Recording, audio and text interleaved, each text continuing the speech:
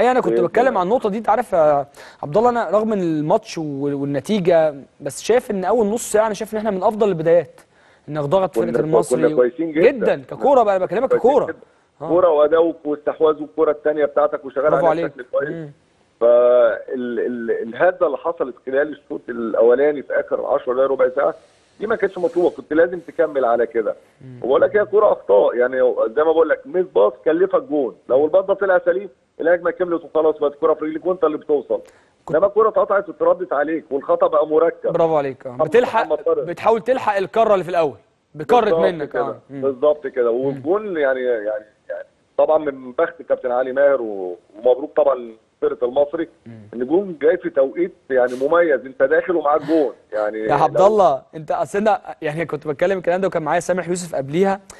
عشان الواحد لعيب كوره فلسه بقول لهم يا جماعة في حاجة اسمها توقيت الهدف ده من أوحش توقيته. توقيتات الأهداف اللي. بتيجي في آه، أي يعني فرقة أنا بقول لك ده توقيت وحش طبعا آه. جدا لكابتن معتمد ومن أفضل التوقيتات لأي مدير فني داخل. كسبان 1-0 صح. يعني جول على البال وعلى الخاطر خلاص أنت بتلم ورقك وخلاص بتحضر لشوط تاني هتخش تقول لعيبتك إيه عشان تنزل الشوط تاني؟ بالظبط. مم. تعدل الكف أو تشتغل على الأمور اللي تقدر تكسبك. فجأة بتلاقي نفسك اتوطيت فدي من أخطر الحاجات زي ما بقول لك دي.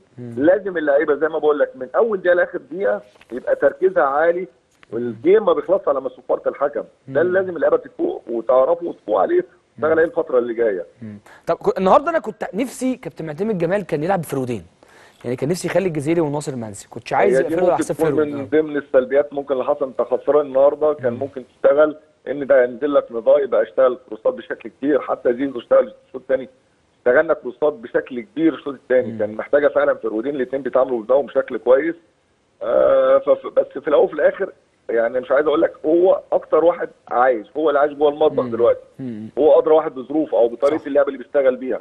إنما في الأول وفي الآخر يعني زي ما بقول لك يعني هي مش نهاية المطاف. أنت خسرت مباراة بس ما خسرت- ما خسرتش دوري ما خسرتش كاس ما خسرتش بطولة بمعنى صح. أنت لسه بدري جدا على أنت تقول أنت رحت فين أو اتحسمت لمين.